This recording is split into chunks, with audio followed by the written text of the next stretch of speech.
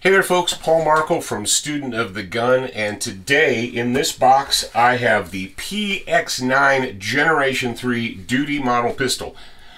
This is a 9mm handgun. It's relatively new. It's from a company called SDS Imports and I'm going to do a thousand round torture test with this gun.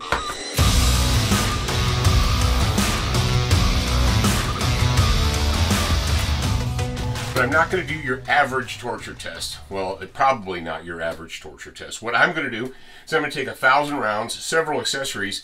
I'm going to go out and I'm going to challenge myself and the gun.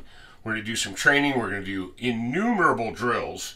And we're going to see how this gun performs under realistic circumstances. Now, this is brand new. I just picked this up, just got it out of the box. I disassembled it and I lubed it with EDC CLP. I'm going to take this with me to the range and probably every 200 to 300 rounds or so I'll take the slide off and I'll put some lube on it. What do I have for accessories? I have a Crossbreed Holsters drop slide and outside of the waistband holster and I've got a matching dual magazine carrier. Uh, this is a full forge gear bag and it's filled with magazines. It's filled with, I've got 10 fully loaded PX9er magazines in here ready to go. Plus, I'm going to put my accessories in there and so forth. And what else do I have? Last but not least, I have a set of Champion headphones. What I really like about these headphones is that they are Bluetooth compatible and I can pair them to my phone and listen to some Boss tunes while I'm shooting. So let's get out to the range. Let's get to shooting.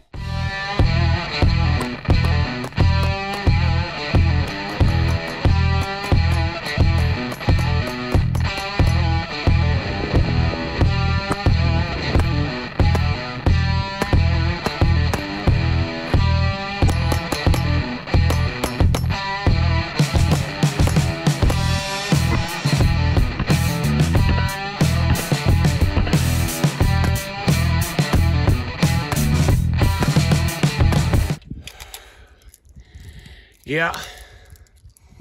Yeah, I know. Loading magazines. Loading magazines.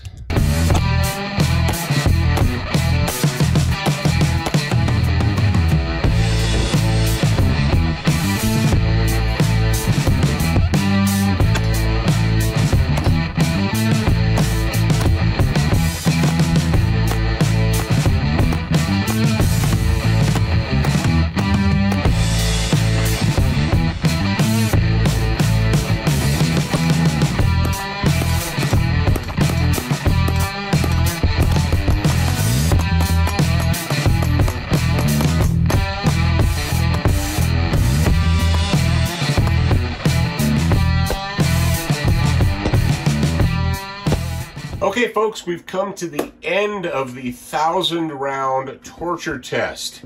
And I'll give you the summation first. The gun didn't break. Didn't have any problems. I know some of you haters are going to be disappointed. You're like, what do you mean it didn't break? You didn't have any stoppages or failures or... No, I didn't. Why? Why is that? Well, number one, the main reason that this gun functions so well is because it's chambered in 9 by 19 millimeter. Let's face facts. When you take a pistol that's 9 mil and you change it, you make it a 40 Smith & Wesson or a 357 SIG or even a 45 or whatever, you're going to have problems. That's what we experienced in the 90s and 2000s when people took perfectly functional 9mm guns, even Glock did this, and started making them in different calibers. Then they started having problems. Right now, in the world, not just the United States, but in the world, there are so many good, well-functioning pistols. It's almost hard to go wrong. You almost have to do it wrong on purpose. What did I do in the torture test? Well, I ran through the Student of the Gun one box workout. I did single-handed right, single-handed left. I did two-handed rapid fire. I did holster drills. I uh, did a drop drill where I held the gun out, chest tight, opened my hand, let it fall, hit the ground, picked it up, shot, shot, shot, did it again.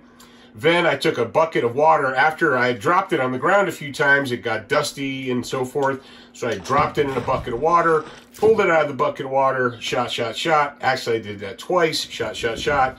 It worked. Uh, after I did the, the bucket test, bucket test was about three or four, or maybe 500 rounds into the test. I disassembled it, brushed it out, put some lube on it, put it back together, and shot it some more. Uh, I broke it over two days. Uh, I broke it over a period of two days. Uh, the first day was a little bit windy and cold. Uh, the next day, the following day, was really freaking cold and windy uh, with wind gusts of 30 miles an hour. So I didn't go out. I waited until uh, a third day. Then I went out. It was gorgeous. well, gorgeous for Wyoming. 50 degrees and no wind and the sun out. Shot it, like I said, one-handed holster drills, two-handed uh, rapid fire. I moved back to 25, 35, 45, 50 yards, shooting at a half steel silhouette at 50 yards. As long as I did my part, the gun was plenty accurate enough to hit the target. I used a dozen different magazines. Uh, these are the, uh, they're from Mec-Gar. They're made by Mec-Gar in Italy. I used actually a dozen of these magazines. Didn't have any problems with the magazines. The ammunition I used was Wolf. It was the steel cased 115 grain full metal jacket Wolf ammo.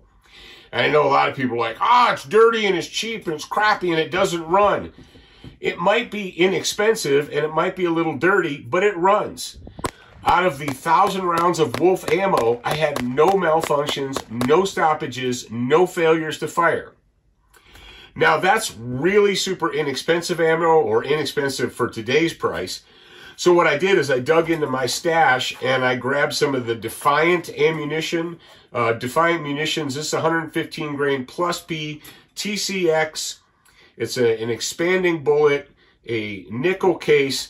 So we went from the really bottom inexpensive Wolf to the rather very expensive personal defense ammunition. This is not practice stuff. This is for personal defense. And I, I shot this out of there just as, you know, kind of a little test. And I wasn't surprised that it ran without a problem. Uh, I also that I also changed out the grip panels in the backstrap. The backstrap and the grip panels from the factory are the medium, the medium backstrap, the medium side grip panels uh, are on there from the factory. So I changed it apart in the field. All you need is one little tool to change it in the field. And I put the large one on there. I shot it with the large one and, and it was fine. I didn't have a problem with it because I have pretty good sized hands. And then I thought, you know what, I'm to do the opposite. So I took the large off and I put the small backstrap in the small grip panels and I ran the last couple hundred rounds like that. And guess what? I didn't have any problems with that either. So I really don't know which one I prefer, medium, small, large. Uh, the fact of the matter is, if I was going to carry this concealed, I'd probably just put the small ones on it so it has a little bit smaller of a profile. Um, not tremendous, but it's a little bit smaller. And, and the truth of the matter is people with big hands can shoot smaller guns, but people with small hands can't shoot bigger guns. So that's why the uh, modern pistols allow you to change the back straps and so on and so forth. So, all in all, um, the gun ran really well, and the uh, when it was sunny, the the fiber optic sight stood out perfectly fine in the sun, as you would expect. The rear sights don't have any paint or fiber optic or any crap to distract you, so it's really easy to pick up the front sight for targets.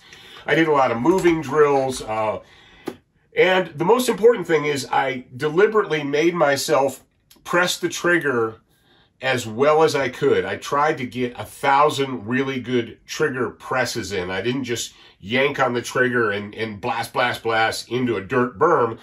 I tried to make every single shot count so that hopefully by the time I was done, I would be a thousand trigger presses better than I was when I started. So ladies and gentlemen, I, all you haters out there, people who hate to, you know, hate Turkish guns or I hate Turkey and I want them all to die. Fine. Here's the deal.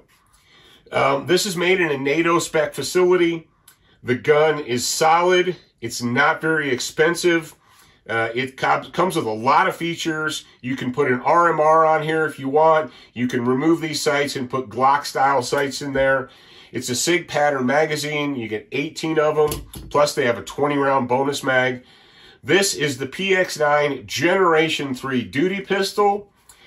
Put a thousand rounds through it. It didn't break. It didn't stop. It ran monotonously. it was boringly reliable. So there you go. And like I said, I disassembled it and I cleaned it uh, twice during the uh, the torture test and put lube on it because what are handguns? Handguns are simple machines and simple machines run the best when they're cleaned and lubricated.